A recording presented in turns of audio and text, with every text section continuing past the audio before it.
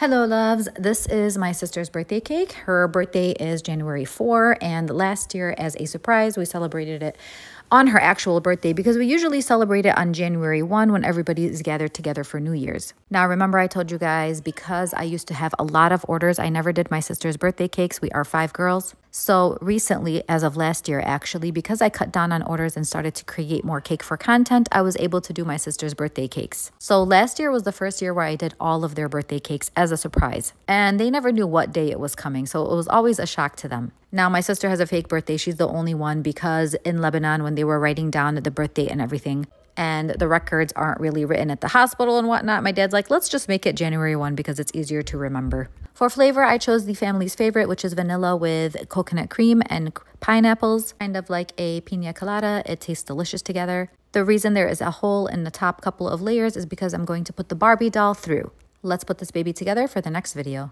Hello, love. So, this is my sister's cake for this year. Okay, so we all know her fashion sense is from the 2000s. What you don't know is she's also a princess. She has the word princess in pink written right above her headboard. She also has little butterflies around the room. And she does consider herself the princess of the world. I really do envy her confidence. I just need like an ounce of it, that's all.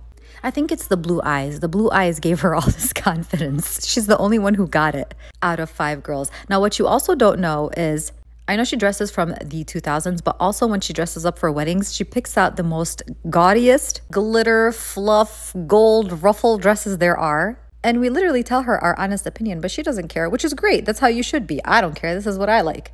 So I decided to make her a Princess Barbie cake and try to make it very gaudy, kind of sparkly, something that's just really out there with lots of little fake diamonds and whatever. Threw a lot of glitter on there. I feel like it matches her well. By the way, she's 39 years old, and I feel like this suits her so well. Hello, loves. Here is the reaction video. She is oblivious to what's going on, and so is everybody else. Only a couple of people knew about this. You can literally see the confusion in her face. My mother was off to the side, and she's like, For who?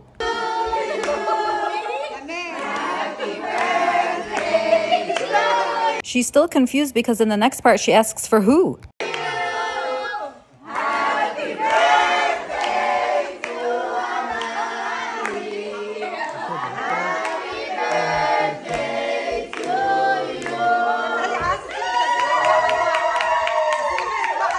This is where I point out that the cake is literally falling apart. Rice wafer paper does not do well in the fridge, and I thought that maybe because I wet it, it might be different, but nope. I finished it the night before, and the next morning I woke up and it was just torn. Wait, wait, smile, smile.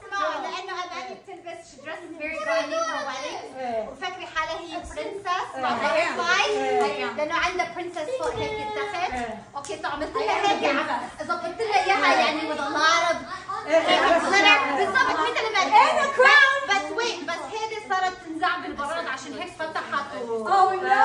Then it ruined and everything started falling apart. No, so then no hell no, don't do that anymore. It just fell apart. It's Amani's cake because she's a princess. A butterfly princess. Thank you, everyone. It's a crown. Yeah. I am a butterfly